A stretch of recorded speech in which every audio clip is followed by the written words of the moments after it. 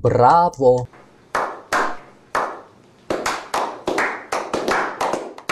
Хлопать или не хлопать? Вот в чем вопрос. Многие начинающие любители академической классической музыки задаются вопросом, когда уместно аплодировать во время концерта. Меня зовут Александр Пак, я преподаватель МГУ имени Ломоносова, и сегодня мы поговорим с вами об аплодисментах.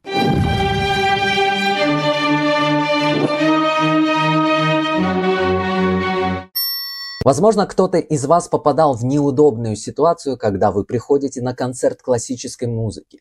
Вам невероятно нравится исполнитель, и вы начинаете хлопать после, казалось бы, завершения музыкального произведения. Но почему-то сосед слева или справа начинает на вас шикать, пытаясь вас заткнуть. Что же такого вы сделали? Вы выразили свою эмоцию, свое восхищение, это же неплохо. Но проблема заключается в том, что в классической музыке, в академической музыке сложилась такая традиция не хлопать между частями циклического произведения. К циклическим произведениям, к циклическим формам относятся симфонии, концерты, сонаты, некоторые вариации, симфонические сюиты. Все эти произведения обычно состоят из нескольких частей, которые звучат завершенно. Поэтому, услышав последние аккорды, к примеру, первой части пятой симфонии Бетховена, хочется поаплодировать, потому что она заканчивается очень монументально.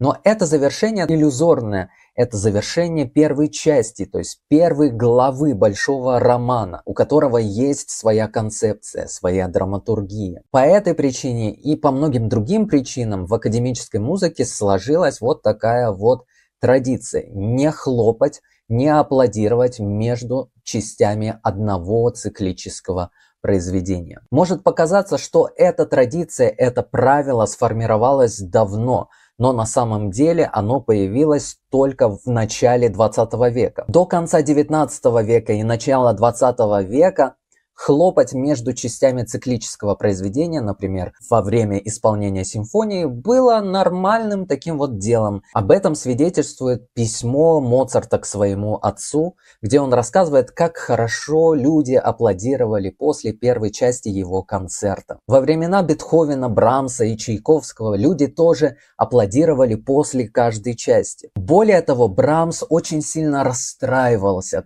когда не слышал аплодисменты после разных частей своих симфоний. И в целом тишина после исполнения определенных частей симфонии или концерта рассматривалась как такой провал. Так почему же сегодня нам не рекомендуют аплодировать между частями больших циклических произведений? Почему раньше это было хорошо, а сегодня это мувитон? Фу, как некультурно. Основной причиной появления такой вот традиции молчания между частями одного произведения является стремление к сохранению и соблюдению цельности музыкальной концепции, которую задумал сам композитор. К концу XIX века с развитием симфонизма эти большие многочастные произведения становились сложнее в своей концепции. И правила молчания прежде всего распространяли и популяризировали исполнители, дирижеры. Дело в том, что аплодисменты публики могут выбить исполнителей из настроения, из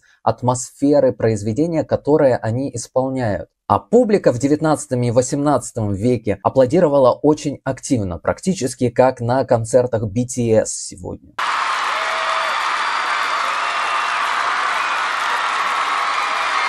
А теперь поставьте себя на место оркестранта или дирижера, который исполняет серьезное произведение, например, симфонию номер 6 Малера.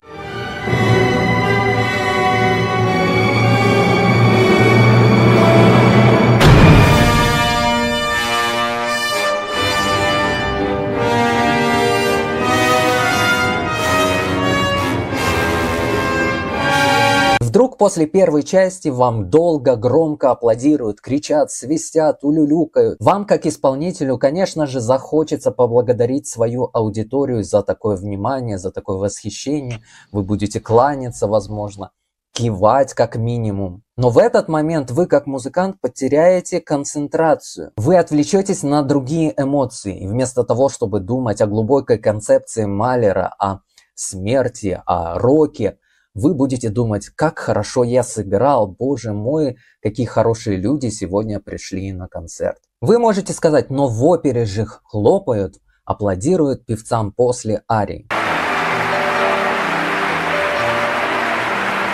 Да, в опере немножечко другие правила, и мы действительно аплодируем после сольных арий, после знаменитых дуэтов. В большинстве случаев, если мы берем не вагнеровскую школу, композитор все-таки прописывает там паузы для того, чтобы аудитория восхитилась, поаплодировала, поулюлюкала. И этот факт очень часто критиковали композиторы, которые придерживались единства драматического развития в операх. Такие, например, как Вагнер, который ценил атмосферу, единство и целостность своей концепции, которую он вкладывал в оперу. К примеру, во время исполнения его оперы «Парсифаль» он вышел после второго акта для того, чтобы угомонить аудиторию и попросить ее не хлопать, не аплодировать между актами, потому что он боится разрушить атмосферу этого прекрасного произведения. Аплодисменты отдельным исполнителям в опере очень часто превращались в такой вот бенефис одного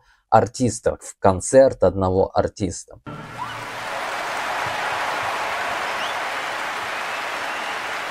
Певца или певицу могли не отпускать со сцены, аплодировали, кричали «Браво!», кричали «Бис!», требовали еще раз исполнить одну и ту же арию. И представьте, каково было композитору, который вложил в это произведение какую-то одну единую концепцию, видеть, как в середине его произведения появляется такая огромная брешь, где чествуют только одного артиста. Поэтому противовес такому исполнению появились оперы Вагнера. То же самое, на мой взгляд, произошло и в инструментальной музыке. Вполне возможно, что длинные, длительные аплодисменты между частями произведения отвлекали музыкантов, и они после этих аплодисментов не могли собраться с мыслями и настроиться на исполнение второй части, третьей части и доиграть это произведение в том виде, в котором его задумал дирижер или композитор. Небольшая история из жизни. Лет пять назад я ходил на концерт Дениса Мацуева в Москве, и так как Денис Мацуев стал достаточно медийной личностью, На этот концерт пришли не только ценители классической музыки. Он исполнял знаменитый первый концерт Чайковского, и все было хорошо.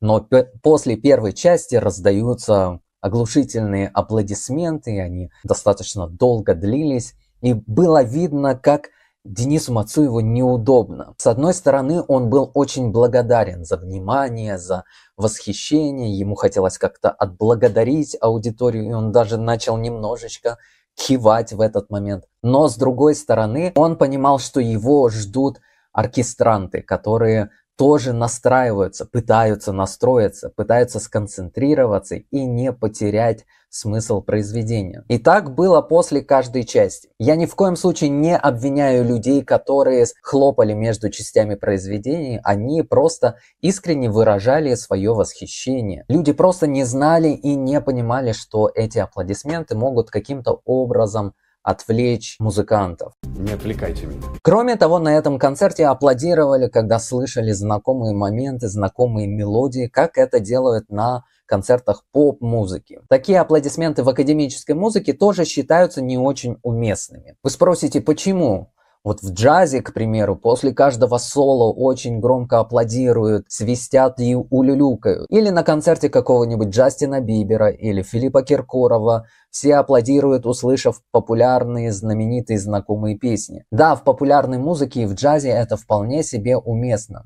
Но в данном случае люди скорее аплодируют исполнителю, его мастерству. В академической же музыке, помимо мастерства исполнения, ценится и концептуально-музыкальное наполнение произведения. Если мы с вами будем хлопать каждый раз, когда мы слышим что-то знакомое или что-то очень популярное, то мы рискуем пропустить что-то важное, что хотел нам передать композитор, и при этом помешать всем другим слушателям, которые хотели это услышать. Поэтому на концертах академической музыки не рекомендуется хлопать во время исполнения. Тут может возникнуть логичный вопрос. Так как же узнать, когда можно хлопать? Не каждый может определить, где заканчивается одна часть, вторая часть, третья, четвертая часть. Может быть, даже вы пропустили объявление в начале и не знаете, сколько частей в этой симфонии. В этом случае доверьтесь вашему дирижеру или солисту. В большинстве случаев музыканты тоже не заинтересованы в таких вот неудобных одиночных хлопках в зале. Они всем видом показывают, что здесь хлопать не нужно. В случае с дирижером он, скорее всего, будет стоять к вам спиной специально, выдерживая паузу.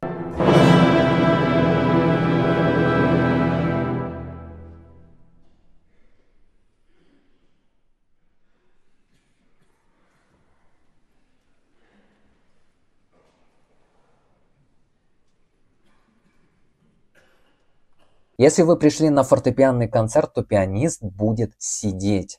Он будет концентрироваться, готовиться к следующей части.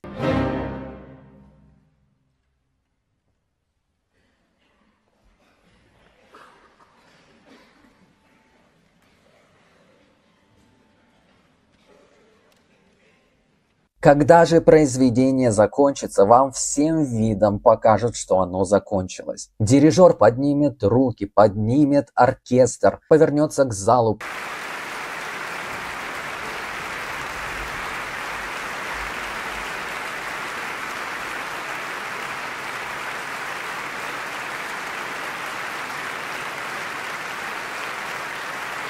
Пианист встанет из-за инструмента и начнет кланяться. Вот тогда мы будем кричать «Браво!», «Браво!» или «Брави!». Тогда мы будем выражать свои эмоции.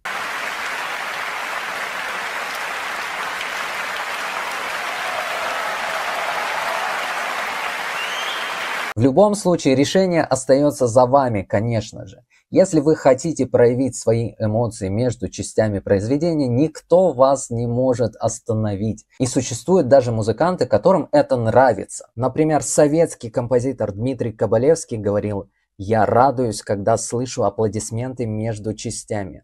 Значит, в зал пришел новый слушатель. А на этом все. Надеюсь, это видео помогло вам решить для себя, хлопать или не хлопать, аплодировать или нет.